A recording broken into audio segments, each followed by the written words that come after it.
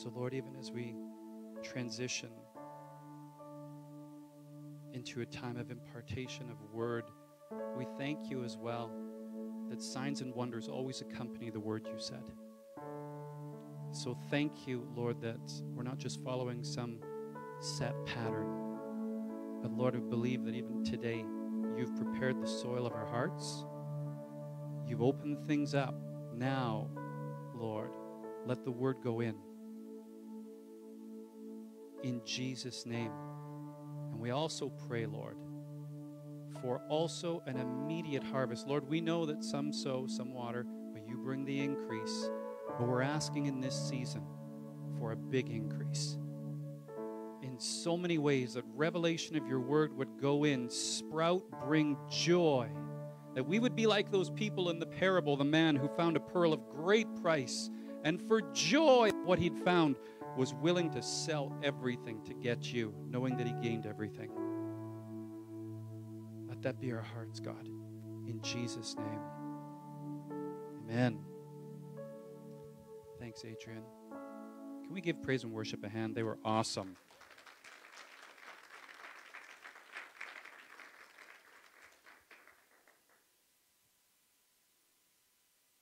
Just thinking, uh, for all of you that are bilingual, uh, does avec mean with? Ah, because I was, I was thinking of, uh, man, what kind of a title do I give this message? I've been thinking with. And I used to, uh, any of you that ever watched, uh, no, no, Bugs Bunny. Bugs Bunny. It's like, I just love the dumb humor. So they've got the one guy, I don't know what his name is, but he's walking around and he's speaking French and he's walking around and he goes, Avec, like this, as if it's supposed to mean something, but it means with. So the title of this message is Avec, or with. Say with. So we've been I think it's really good, really, really good if you can go back and listen to the message from, from last week. Yeah, there is, my goodness, there is something in that. Um, let's say this together. There is nothing impossible for the Lord. I believe that there's a, there's a life on that revelation, and it's going to mess you up and stir you up because you've already heard it a thousand times. But when God whispers and it becomes revelation, it changes everything. So, um, Genesis 18, the Lord showed up, and it was pretty powerful as he did it. And he comes to Abraham and he says, Is anything too hard for the Lord? But you notice that he didn't come to Abraham and say, Is anything too hard for you? I mean, if the Lord came to me and said that, Is there anything too hard for you? I would go, Yeah. Sheesh. Usually getting out of bed. It's a challenge just going about your day. I want to address something uh, today. And man, I pray that revelation goes in because it is time for a, a shift of your understanding or faith. And usually it's the simple ones that go in the deepest. So that, that needs to happen over the church as well. I mean, it's time for us to place your expectancy on Jesus. And that sounds like a pretty wide um, phrase, but I want to tell you that it's not. Um, Mark 9, and I'll have Rachel put it up in just a moment. There's this really awkward account, and it kind of leaves this awkward feeling because there's this boy who's got a demon in him. And he, oh, good, confirmation. He's, this demon inside this boy's been there for a long time, and the dad doesn't know what to do. So this demon in this boy would take the boy, throw him into the fire, and he would convulse and he would always try and take the boy's life, which always made me wonder, boy, I wonder what the calling on that young man was.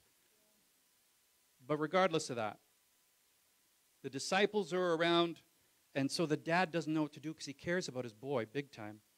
And so he goes to the disciples and he asks the disciples who were in training to cast this thing out, and they couldn't. And so here's the deal. He goes to Jesus. This is a dad who cares about his son. He's in panic mode. He's going all over the place. He goes to the disciples who are just men. He's probably been to a lot of people who are just men, and they can't do anything. And he goes to Jesus, and he's got like, here's the thing he, he thinks Jesus is like a man. He's been going to men, going to men, going to men. And so he goes up to Jesus and he says this If you can do anything, please do something. And Rachel, can you put that up there? And that's where Jesus says this If you can believe, all things are possible to him who believes. And you read that and you go, Oh, it's awkward. Well, I guess, you know, Jesus just laid the spank down on this guy and he couldn't believe enough. Boy, I don't want to be like that person. That's awkward. And then you never step out and you never do anything because of that one awkward moment. And that's not how that moment went. Listen to this. This is what it actually means. So just did a quick look uh, on the actual meaning in that scripture. If you can believe all things are possible to him who believes, means this believe to have faith in or upon a person. Or more specifically, it meant this to entrust one's being to Christ. This is what believe means. Not you. I, boy, get this. Believe does not mean, boy, I sure hope that you got enough stuff. I sure hope that you're godly enough. Boy, I sure hope that you've had enough training in you. Boy, I sure hope that you read the Bible enough. Boy, I sure hope that you, just you, can heal that person.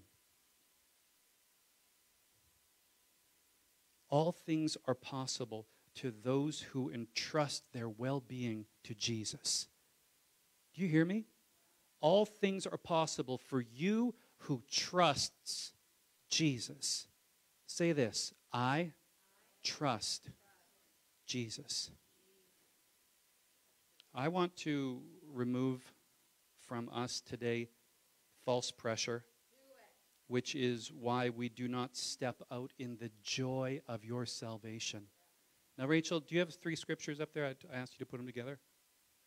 Now, I want you to see this. Luke 1 says this For with God, nothing will be impossible.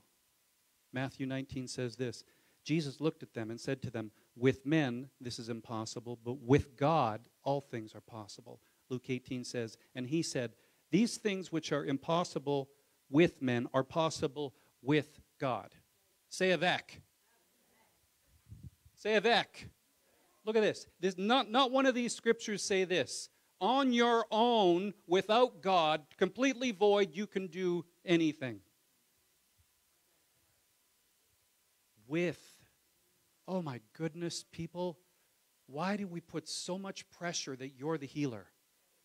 Why do we put so much pressure that you're the one who has to step out? You have to do this when he's the one who's come along and said this I'm never going to leave you. I'm never going to forsake you. I'll be closer than a brother. I'll be closer than your even next breath. I will be with you. Why do I put so much pressure on myself if I'm going to go pray for someone thinking that I got to have the goods? Say it back. He's with you why not put the pressure on Him? I don't got to do this. My salvation is not dependent on me and what I've done. That even removes the cross. Oh, how the devil loves to twist this. The moment you think you should step out, and up he comes and says, You can't. Don't you remember? You got nothing. You ain't got nothing. I don't need anything. For with God, all things are possible. Man, it, Look at what Jesus said. I don't, I, I don't even do this anymore. It's not me. I only do what I see the Father doing. Why do we as Christians do this? You put so much pressure on ourselves as if you've got to do this, you've got to stir up something. God's awful mighty. Amen? Say with. Or you can say avec, it doesn't matter. Avec. Let's go to more awkward. Let's go to John 14. Say awkward. Say it's okay because there's revelation in it. 14. Now, I read these things in those moments and I go, I kind of cringe. Like the cringe moments, like, oh, that is so bad because I've done it. So I can do that. Like you guys have never done it. Yeah, a bunch of halos in here. Pants on fire, that's what I say. Okay, John 14. And uh, uh, here's what Philip says, because here's Jesus, he's talking about the Father. And he's saying, Man, from now on, you've seen the Father. And so Philip steps up in verse 8 and he says this Lord, show us the Father, and it is sufficient for us. And that's probably exactly what I would do in, in a moment of zeal. Like, this is so awesome. This is so cool. Jesus is talking about the Father. And so Philip goes, Just show us the Father. And so Jesus says this Have I been with you for so long, and yet you've not known me, Philip? Awkward. He who has seen me has seen the Father. And then he says this So, how can you say, Show us the Father? Oh, awkward moment. But listen to this. Verse 10 Do you not believe that I am in the Father, and the Father's in me? And the works, sorry, the words that I speak to you, I don't speak of my own authority, but the Father who dwells in me and does the work. He's not talking of some sort of metaphor, he's not doing some sort of simile. This is a real deal. Say real. Jesus is saying this the Father is in me. This is real. I'm in the Father. This is, this is a real thing.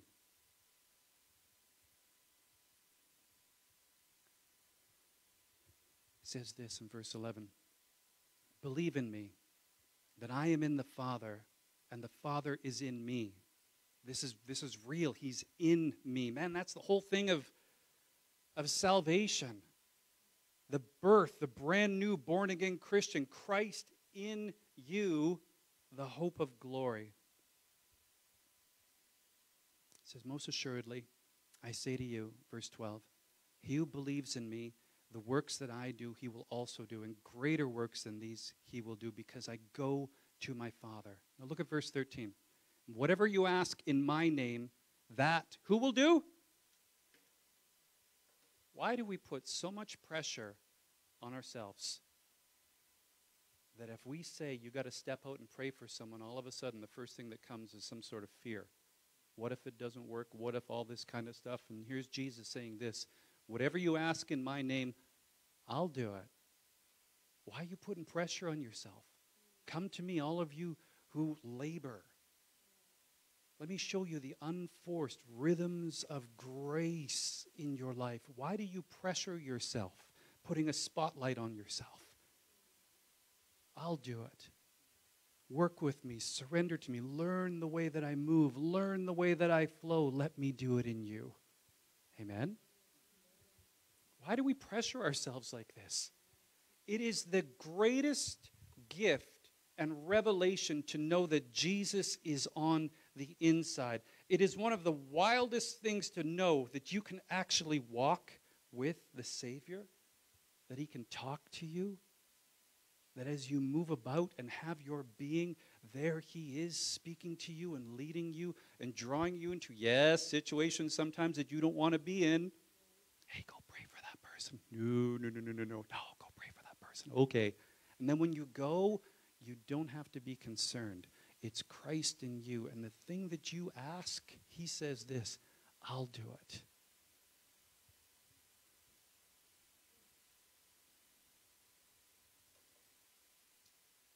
Moving on. That the Father would be glorified in the Son. Verse 14, he says it again. If you ask anything in my name, I will do it. Not, not, not you, but yes, Christ in you, the partnership. Oh, yes. But the pressure's not on you. Amen? Moving on. If you love me, keep my commandments. And I'll pray to the Father, and he will give you another helper. He is like the nuclear, super, Holy Ghost power crazy. It's not enough that God will do it, but I'm going to give you completely holy power, nuclear bomb, Holy Ghost. And look at this. He'll abide with you forever. Look, another Avec. Verse 17. The Spirit of truth, whom the world cannot receive because it neither sees him or knows him, but you know him, for he dwells with you and will be where? In you. Say Avec. Oh my goodness. we lead our lives thinking that somehow Jesus is separate until those one moments when we call on him and pray. And yet he's in you and with you, always knocking, always asking, always ready. Not a hindrance, he's not a perv that he pries in. These are all unsaid weird things that go on. Created you, knows you, knows your substance, knows your thoughts from afar. Why would we think that he's far away? And then all of a sudden, if he calls you to do something, which he calls all of us to do, that somehow he backs off. He's with you. And when you ask, he will do it. Amen? I tell you that we are coming into a season of such simplicity in Christ that if you're trying to figure it out, it's not going to go well. And if you think you have to figure it out, it's not going to go well. And if you think that you got it all figured out, it's not going to go well. But for the simple and for those who will trust Him at His word, you are going to see things that you've never seen before. Amen?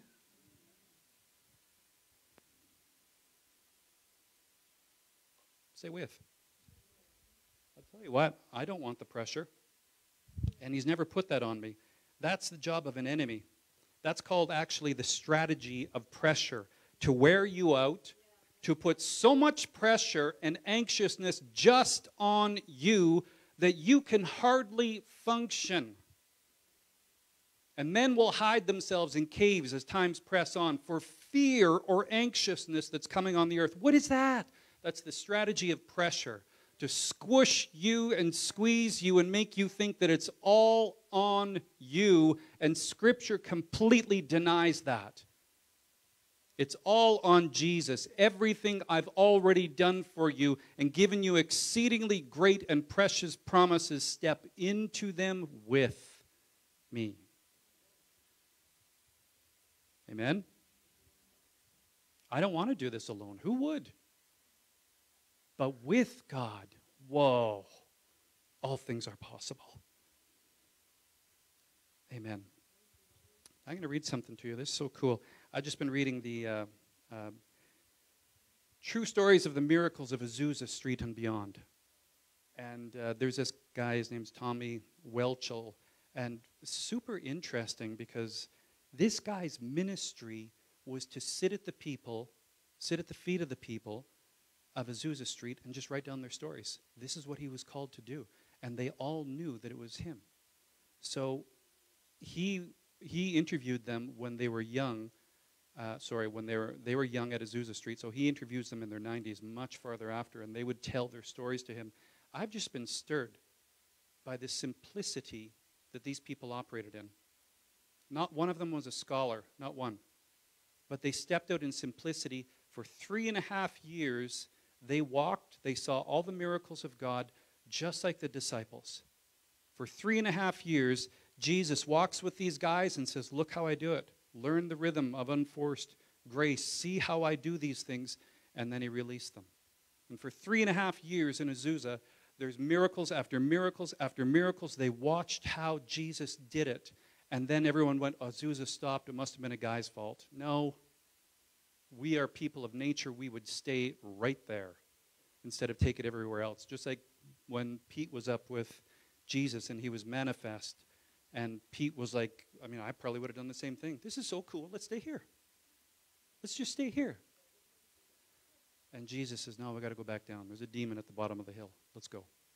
You take what you've seen here because it'll change you and transform you. That's what light does. And it pushes out darkness. And now that darkness has been pushed out to you, what's darkness? Fear, doubt, unbelief, pressure, strategy of anxiousness to take you out. Light dispels that. Light just brings simple revelation of this. Oh my goodness, he's with me. When I step out, he's with me. I don't have to have all this pressure on me. In fact, I'm coming out from underneath that thing. I'm not a victim of pressure. I'm seated in heavenly places in Christ Jesus. I'm with him. What is he going to do today?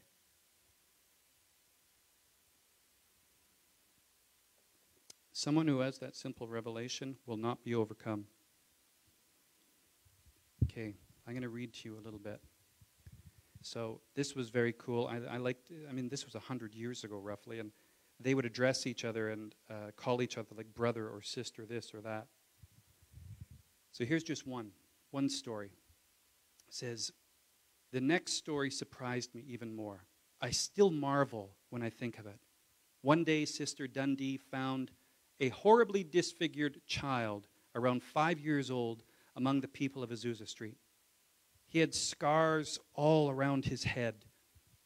The family said that the doctor literally had to piece his face back together after he fell from a staircase onto a concrete floor when he was about two and a half years old. The side of his face took the impact, and it was about one quarter of an inch lower than the rest of his head. Sister Dundee could tell he wasn't uh, normal mentally either. And her reaction was this Oh, how marvelous.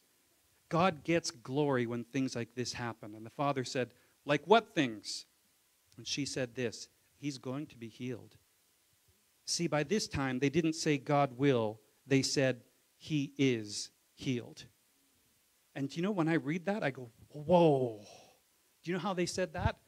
They had been with God. And this part of the story that they're getting to, they're almost at the end of the three years. And this lady has been for three years in God's presence with Him, with Him, with Him, with Him, with Him. And she found out this that with God, nothing is impossible. And I followed their stories. The more, the more the miracles pressed on, the more simple the people became. And there became this expectancy that with God, He'll just do it. With yourself, who knows?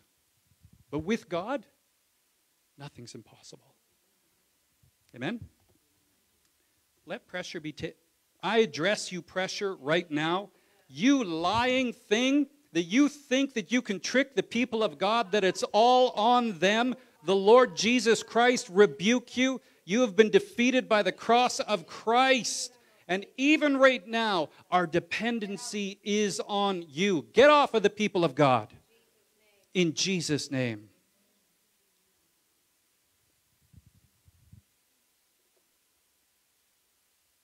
Liar. Here we go.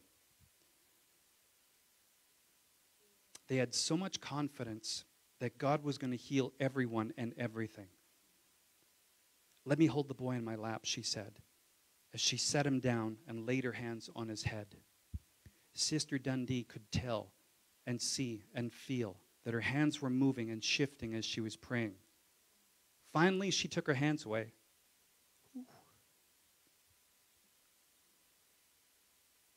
That's the mercy of God with him. Finally, she took her hands away, and the boy's face was perfectly normal.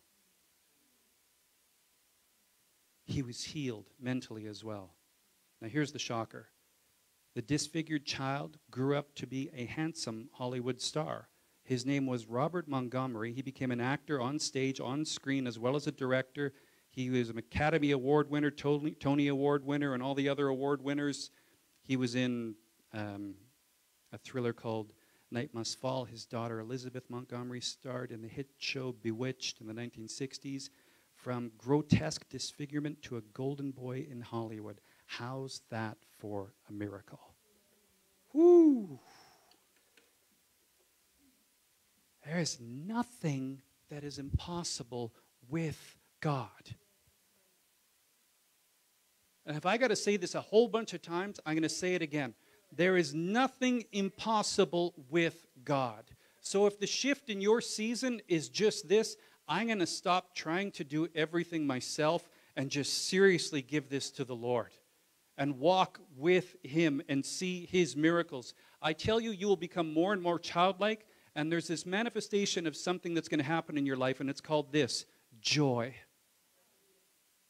Joy does not come from all the pressure on you.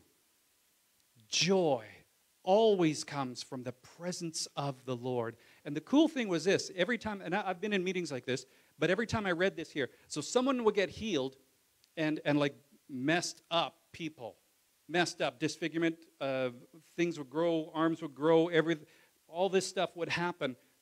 when people, especially in wheelchairs, would come, they would open up their wheelchairs from them and they would pray over them. And the reaction of everyone that I read here was all the same. The moment they got healed, joy overtook them. And they got up and they started to dance and they started to twirl like this. And the people that were praying for them also got overtaken by joy. And so you had all these people running around and dancing in joy. True joy comes from walking with Jesus. There's no pressure when you're walking with Jesus. And I find this interesting too. I think it's in Romans 16. It says this. Say first, first say shalom. Okay. It's the God of peace who's going to crush Satan underneath your feet, Romans 16. And what's really interesting, because it could say this the God of war, uh, the God who kicks butt, or the God of manifestations, or the God of anything, but it's this the God of peace is going to whoop Satan underneath your feet shortly. Amen. Praise the Lord. Praise the Lord. So do not give up your personal time of worship. Amen. My goodness, just do the shift. Do the shift. Last thing I'm going to show you as well. I think. Can you say meek? Meek in our meek in our culture means that you're going to get whooped. Meek in our culture means that you're going to get run over. Someone's going to take advantage of you. No one likes that. And in fact, if you dwell too much on that, you can, you can remember the times when that's happened to you. Someone's run you over, someone's crushed you or publicly done this to you. And then what happens in you is this whole thing of self defense. I'm not going to let that happen again. And the enemy rejoices over that because you guard yourself. I remember Angie and I went to, um, I've said this before, we were on a, when we were running a, a, ministry training center, we had to go out on the road and do PR stuff. And so we would go out and add brochures, I would all stuff, and we were promoting the school. And we were terrible at promoting the school. Terrible, but we were really, really good at prophesying and having words of knowledge and all that kind of stuff. So we had we had uh, churches that were preset. We had to go see them, that kind of stuff. Walked into one, and it was beautiful church. Like, wow, was it ever well made? And I remember walking and going, whoa, like that. And so the pastor come out, and he was clearly agitated. And and he was like he was treating us like we were doing some sort of hostile takeover. And so I was like, whoa, dude, here, just brochures. I mean, you can turf them. You do whatever you want to do with them. Doesn't matter. That's fine. And I, before we left, I had to say, okay, look, I'll probably never see you again. I just got to tell you this. I, God's shown me something. I've seen this about you. I see you guarding your church, like with a shotgun. You, you're, you're standing in front of two double doors, and you won't let anyone in. And he's, he started to say something to the acknowledgement of he got really hurt there was a church split. And he's not going to allow that to happen again. And he's very firm in that, like this. And I spoke to him, I said, out of respect, out as much respect as I could give him, and gentle. And I told him this the very thing that you think that you're doing to protect the people is the very thing that is hurting them. You will not also allow the Spirit of the Lord in here.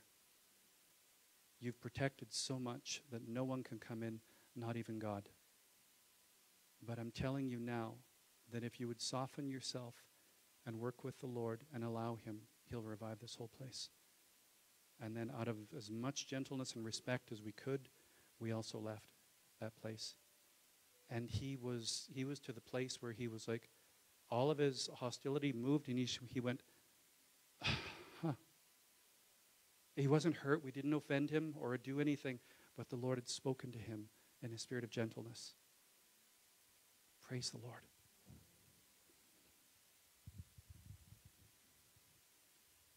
I am not pushing you into a new season. I'm not telling you that you have to go into a new season. I'm saying whether I like it or not, we're all going into a new season. And it's going to be a phenomenal good season. Amen? on your own may be difficult. With the Lord, nothing's impossible. I didn't give this to you, Rachel, but let's go to Luke 10. And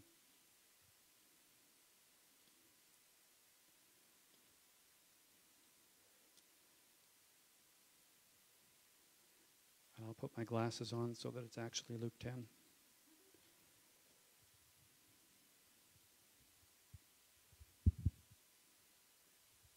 This is super awesome. Now, I really like the ministry of Pete, John, and Jim. I, I really like these guys because they were messed up, and Jesus said, I'm going to use you guys anyway, especially Pete. Pete's messed up, and he, he always says the wrong thing, and he's impulsive, and he's all of that stuff. I love that guy. And Jesus saw something in those guys, uh, just a humility or a realness or whatever it was that he can use them. But if you read the scriptures too much, you can see that, um, and look at it incorrectly, you can see, oh, it was always just Pete, John, and Jim. It was just those guys. Look at Luke 10, verse 1. After these things, the Lord appointed 70 others also. Well, also to who? Pete, John, and Jim. And he sent them out two by two before his face to every city and place where he was about to go himself. So if you think that it's about some people, these people will do this. No, no, no, no. And Jesus sent them all out. I'm not going to send you out alone. I'll send you out in two. You'll be with somebody else, but you will totally be with me. It's not just about the three. And we'll do a we'll do a bigger teaching on Luke 10 later on, but I want to show you something. if I can find it.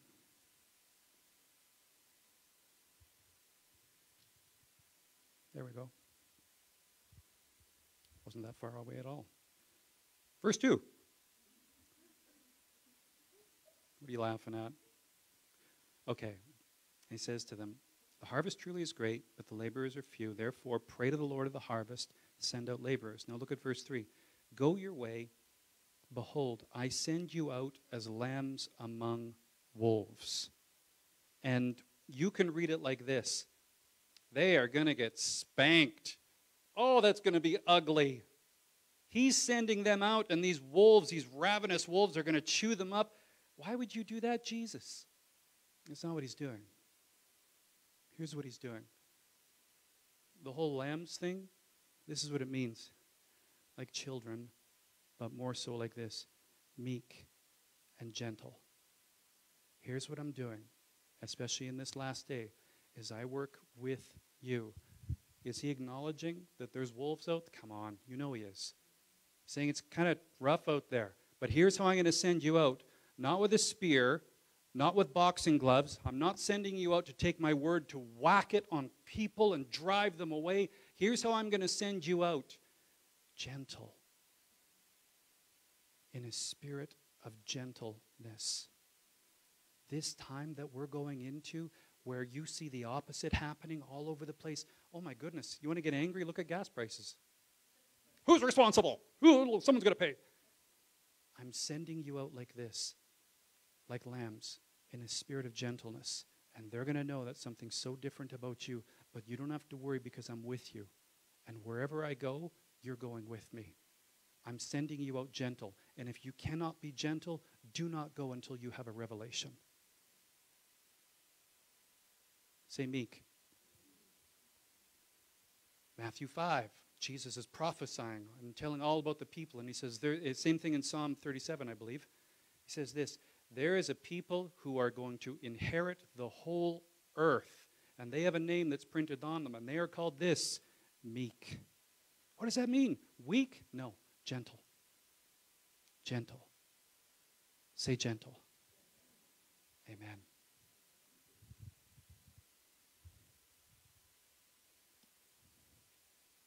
Here's what we're going to do. Lord, I, I first I, I pray revelation to come. You you have never ever left us. You have never ever forsaken us, and you won't leave now. Father, I pray that a revelation right now of with would become so simple that the roots would go in so deep that we would never, Father, we would even laugh. When fear and anxiousness comes and says, You can't do this, they would, Lord, you laugh. You laugh at the nations. When they're doing wicked things, your word says you laugh at them. God, I pray that we would become a people who would laugh. When the serpent comes, when pressure comes, when fear comes, when anxiousness comes, we would be a people that laugh on the inside because we're not doing this alone. We are with you. In fact, God, your word says that we are seated in heavenly places with, in Christ Jesus. Father, I pray that we would not be a people that are taken out by any kind of a depression or a fear, but that simplicity would come about your people in Jesus' mighty name. In fact, I'm going to do something today. If you would like that revelation of simplicity, would you just stand up like a little kid would and just please stand? And if you need to put your hand up, that's just fine. I don't want to be stuck in complication and God's word is a light to my path. He always sets me free. That's what His word does. But let it go into you in simplicity and in truth. So, Father, I pray right now, Lord, where there's been complication or a twisting of the enemy, where the word has gotten twisted, or where the calling of God has gotten twisted, in Jesus' mighty name, I thank you even this morning that you make the crooked places straight. And so, in each person here today, Lord, I thank you for straightening out a path, that the pressure of the scriptures and of the word are not on us alone, but the partnership of walking this life with you and learning the unforced rhythms of grace. Lord, nothing is impossible with you. Nothing is impossible with you. Thank you, Lord. Just stay there. I was still reading. I was reading Mark 9 during um, worship, and it was really interesting, and it's exactly what the message is doing. And is Mark 9:23 says, Jesus said to him, If you can believe, all things are possible to him who believes. And the verse right after that, verse 24, immediately the father of the child cried out and said with tears, Lord, I believe, help my unbelief. Then there's this little, I'm going to give you, this is what happens. When Jesus saw that the people came running together, he rebuked the unclean spirit, saying to it, Deaf and dumb spirit, I command you, come out of New Life Victory Fellowship and enter here no more. Then the spirit cried out and convulsed him greatly and came out of New Life Victory. And so I prayed that in the beginning uh, while we were having worship because I didn't know and I never know what Daren is going to speak. And I know that if the Lord wants those words said, that He'll highlight it. And so the Lord is highlighting that He wants to deliver us from unbelief.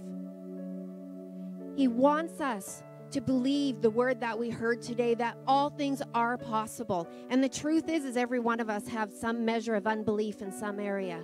And that's okay. When you can see it, God is showing you and that's when he's going to deliver you from it. So if you have felt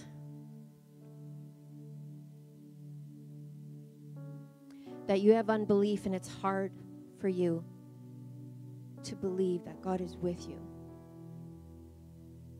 then I just want you to put your hand up. We're going to acknowledge it before the Lord, just starting with mine. And as your hand goes up, Jesus sees that. And he is going to deliver you. And I want you to say the same thing Say, Lord, I believe. Help my unbelief. I don't want it anymore. I want to believe you. I want to be a believer that you are with me always. Okay, just stay there. So, Father, I thank you for your anointing of delivering us. I thank you, Lord, that today unbelief has been removed from this congregation in Jesus' name. If they came in with it, they're not going out with it. And we address unbelief in every deaf and dumb spirit right now. And we command you in the authority of the name of Jesus come off this people, never to return. And we welcome the anointing to believe, Lord. Come now. Just say with me, say, Come, Jesus. Fill me up in all the places that unbelief has been. Light me up, Lord. Thank you, Jesus. So Jesus said to them, Go into all the world, preach the gospel to every creature. He who believes and is baptized will be saved.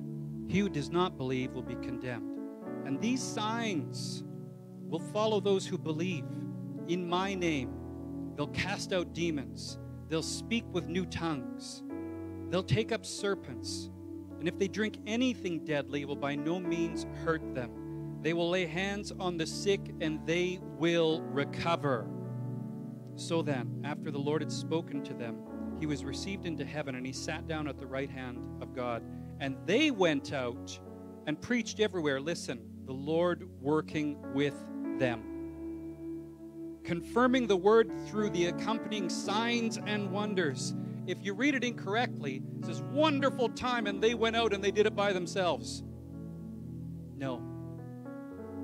When the revelation happened, the Lord worked with them. The accompanying signs and wonders. Amen. Lord, thank you for a people, a very strong, a very awesome people. Thank you that with you nothing's impossible. Now, Lord, I'm also going to thank you now, not later, but now, for the accompanying signs and wonders as you work with us. Here's what we're going to do, people. You ain't just walking out. You're sitting beside people, you're sitting behind or in front of people. So, this is what we're going to do before you leave. I want you just to turn and find someone and just simply say this How can we pray for you? Not, not just me. How can we, It's like Christ in you, just say, How can we pray for you? And then listen, the pressure is not on you. In fact, let's say this together.